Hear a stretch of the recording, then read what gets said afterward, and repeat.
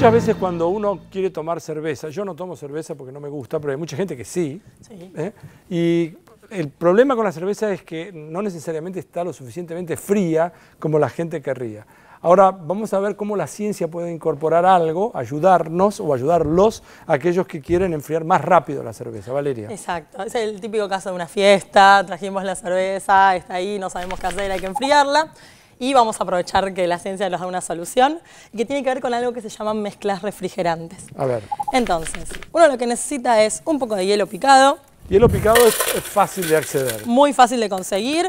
Si uno lo quiere comprar picado directamente, puede funcionar. También funciona comprar el hielo que viene un poco más Bueno, tam- grande. y también funciona comprar la cerveza bien helada. Claro, también, pero bueno, Claro, ya que estamos, si uno lo saca de la heladera, los cubitos habría que molerlos un poco. Bueno. Entonces, tenemos un poco de hielo picado y lo que le vamos a agregar es sal. Sal.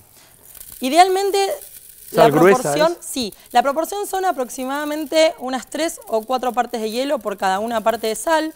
Entonces uno lo va a dejar, lo mezclamos un poquito, ¿Cuánto es? ¿Tres o cuatro partes de hielo? tres o cuartos partes de hielo por una parte de sal, sal gruesa. Y lo que vamos a hacer es probarlo con un termómetro. Vamos a agarrar una de las latitas que tenemos. Pensá que yo no tengo más ropa que esta. No, no, por favor. Vamos a ver a qué Ah, vas a medir la temperatura que está ahora. Ahora, en este momento. Sí. Y ese es un termómetro. Acá tenemos un Yo hermoso tengo. termómetro. Perfecto. ¿Así lo tengo? Sí, así se ve bien los números. Estamos poniendo el sensor de temperatura y nos dice que estamos más o menos a 24,3, sí, 24,3, 24,2 No grados creo que nadie tenga un, termómetro así. No, por eso van a tener que confiar, pero... Bueno, perfecto. Estamos, en, vamos 20 a demostrar. estamos en 23,4, 24,3. Exactamente. Entonces ahora lo que vamos a hacer es poner la otra lata Sí. en esta mezcla De hielo y sal. refrigerante de hielo y sal. Le vamos a agregar un poquito más de hielo. Yo acá Ahora tomar Valeria, si, si el hielo se lo vas a poner a esa, obviamente se va a enfriar más rápido esa que esta.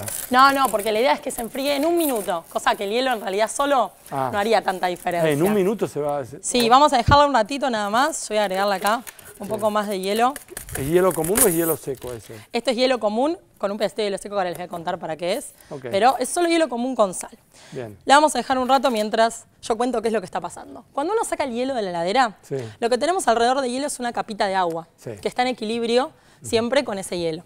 Cuando nosotros agregamos sal, lo que estamos haciendo es que la sal quiera disolverse en esa capita de agua que rodea el hielo. Entonces, ¿qué pasa? Cuando algo se disuelve, existe lo que se llama un calor de disolución. O sea, necesita cierta energía para poder disolverse. El tema es que ¿de dónde va a sacar esa energía la sal para disolverse? Del hielo. De dónde está, en la mezcla en la que está. Entonces, ¿qué pasa con eso? Baja la temperatura. Del hielo. Baja la temperatura del sistema, Ajá. del sistema, hielo más sal. Y puede llegar, si hacemos una proporción exacta, a menos 20 grados centígrados contra los 0 grados que tendría el hielo naturalmente. Entonces ahora vamos a probar si efectivamente esto Ha pasado. Ha pasado. ¿Y no le podés poner el termómetro ahí adentro sin usar, sin verterlo? En... Ah, ¿lo querés verter acá? Sí, vamos a ponerlo directamente en el vaso, así nos queda más prolijo. Y vamos a ver si logramos... Yo tengo la... Espero que haya salido bien. Sí, si no lo vamos a meter directamente dentro de la lata. ¿Y ahora qué pasó? Vamos a ver si efectivamente la temperatura bajó. No. A ver adentro de la lata.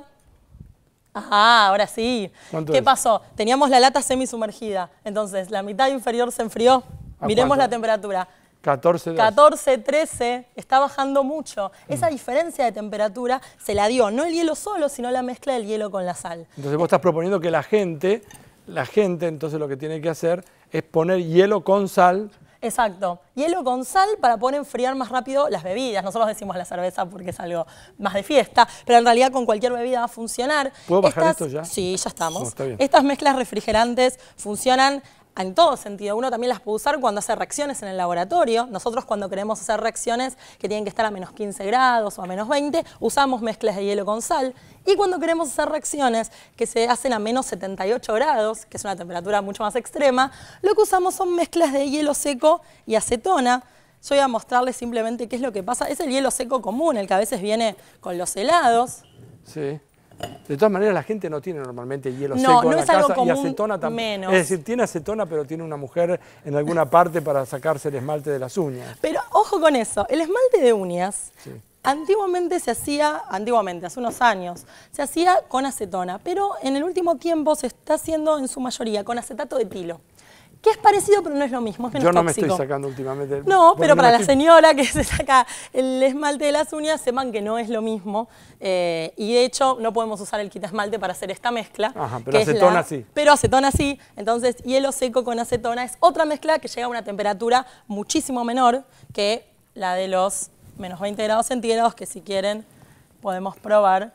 Miren lo rápido que está bajando la temperatura. Que no veo nada. Está en acá. 17,8, 17,7 y así va a seguir bajando porque obviamente tiene que estabilizarse la temperatura. Entonces la clave acá es tener hielo seco con sal. Y hielo, común sal. con sal. Exacto, hielo común con sal, tres partes de hielo o cuatro partes de hielo a una parte de sal gruesa.